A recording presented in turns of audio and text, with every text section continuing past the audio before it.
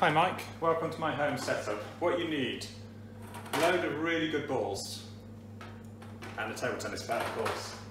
Then you need a table like this, normal setup except for what's going on up here.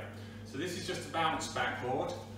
Uh, it's just a very thin piece of MDF, but you could use plastic laminate. My table's plastic laminate. And the idea is that you get a really good bounce off it. And it's just held on by sash clamps. So there's the sash clamp. It happens to go all the way. It doesn't need to. It just provides a weight so, so any ball could hit this really hard and it's not going to tip over. I do have a couple of little clamps at the back. They're just tiny little things, but they're never used really. They're just in case. Um, and then I have a pair of tracksuit bottoms, old tracksuit bottoms, where I've cut out the, the legs and they just act as a ball stop so that when the ball goes dead it doesn't run under here and then you go chasing balls. So that's the setup, it's really simple. Because these are sash clamps, then you can just adjust them by taking off here and placing them, doing them up at the bottom. By doing that it will rotate the board back to more vertical or you can raise both of them up to here and then you'll create a really steep angle which is really hard to keep the training going. Uh, I'm on about this setting at the moment. I've never had it much above here and if it goes to the bottom that's it's not just that it's too easy then um, because that's where I recommend you start but actually if you hit it at any pace the ball will fly back over the top so that will come out in the demonstration that I do. So this is just a demonstration of how to start. You're not doing a normal serve to start. This isn't about serving. This is about just keeping long rallies going and practicing your shot technique. So how do you start? You don't start by serving onto your side. You can either bounce it and then go over like this.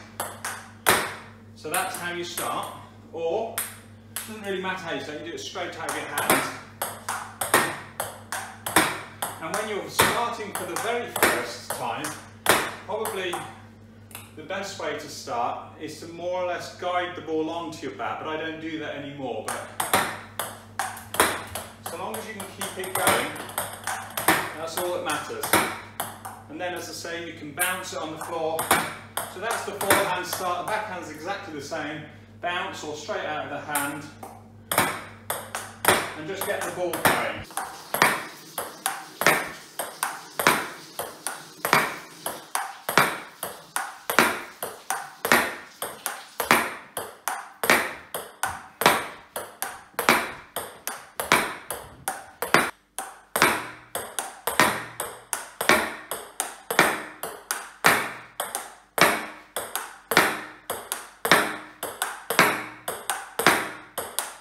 This is the demonstration of a longer rally hopefully. Now I start with two balls in the hand because I just want to maximise the amount of time the ball's in play. So just start with one in the hand at the start until you're used to it. But I'm going to bounce it, get it going, and then I'm going to fail, and when the ball fails, unless it lands on the floor, just leave it. So it's a start, and we'll practice the forehand say, and we get it to fail in Oh, there we go, it's failed. So just leave it, it'll hopefully roll off to the side, and then you can just get the second one that was in hand going. And then you can move to backhand,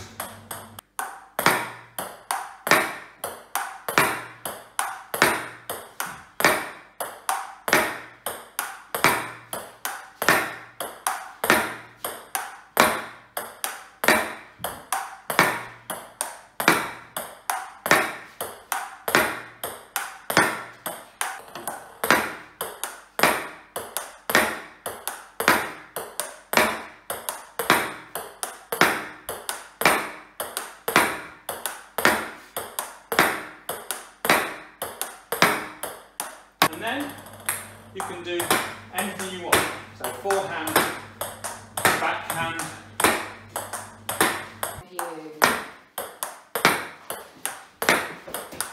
What's that? Renting space to be a graveyard. Explain. Pardon? Explain. He suggested to try minor injuries. They don't take, I can't walk into minor injuries anymore. I phoned them and they let me come round. Um, I couldn't find anything. It's just a demonstration about the importance of the angle of the backboard. So what you'll see is that I've lowered the sash clamps, they're now really, really low. What that does is it turns this into a right angle. The higher they go, the more of a, the way this turns into a acute angle and brings that forward. So now because this is vertical, what's going to happen is as you put topspin, this is all about topspin practice on the forehand and backhand and only topspin. And what will happen is the ball will spin forward, rotate, rotate, rotate, hit the board and flip up. And because it's quite vertical and you're doing topspin, it'll flip quite long.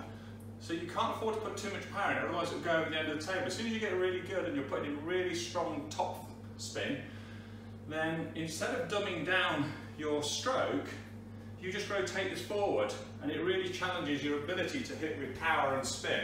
But this is the vertical one, so if I can get it going, I'll try. And, and that just took me totally by surprise. It flipped right up and came right to the end. So you can just see that effect that I was talking about. So have it on that second at the start. That is super weird. Have it on that second at the start, and now I'm going to demonstrate where I am, which is the, the more tipped forward one. So we just demonstrated a really vertical backboard.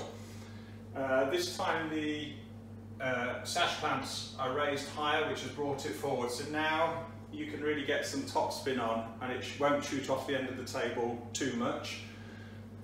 So it's just a case of getting the rallies going. And it's either, see that one's gone over the back, so it's not a bad shot as such, it's just too powerful for the angle. But doing this, you can really practice your footwork, your top spin,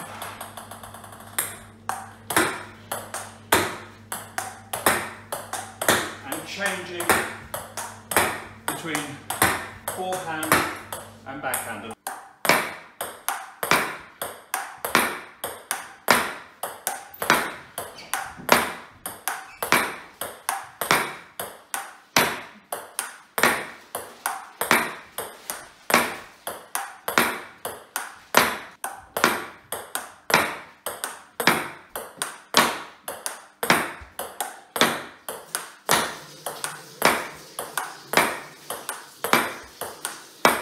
idea now is for it not to hit this side ever.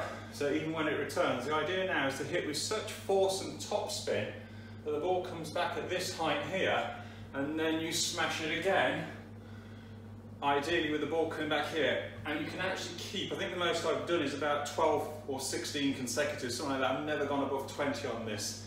And the idea is just to keep smashing at this height. You get very little time and the idea is that you often find yourself with the ball coming at this height in a match and it's very easy to fluster because you don't actually ever practice that. So that's what this is about.